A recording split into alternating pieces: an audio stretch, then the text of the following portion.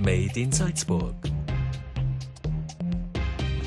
Im Bereich Spezialmaschinenbau haben sich einige Salzburger Unternehmen seit langer Zeit einen guten Namen gemacht. Also wir sind ein äh, Familienunternehmen in der zweiten Generation. Mein Vater hat das Unternehmen vor 34 Jahren gegründet und wir produzieren Anbauwerkzeuge für Hydraulikbagger. Wir machen diesen Lebenslauf komplett durch von der Entwicklung zum Rohstoff bis hin zum intelligenten Produkt zum Beispiel mit unserem Tunnelvortriebsbagger. Dieser Bagger ist konzipiert für kleine Querschnitte und erschließt damit eine wichtige Nische im Tunnelbau. Ein anderes Gerät, was wir entwickelt haben, ist dieses Reinbohrgerät, was das Bohren und Spalten in einem kombinieren kann. Das Entscheidende für den Standort Salzburg ist, sich in eine Marktnische zu fokussieren, innovativ zu sein und Top-Qualität zu liefern. Präsentiert von